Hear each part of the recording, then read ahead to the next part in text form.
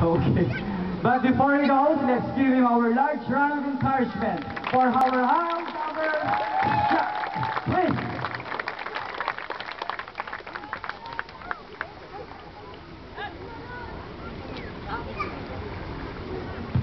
And I would like to inform everyone that this is his first time to do the high dive.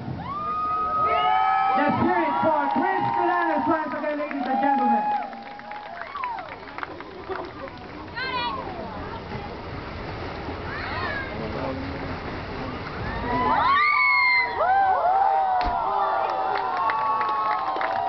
Hold your applause, ladies and gentlemen. Let's wait for Kris.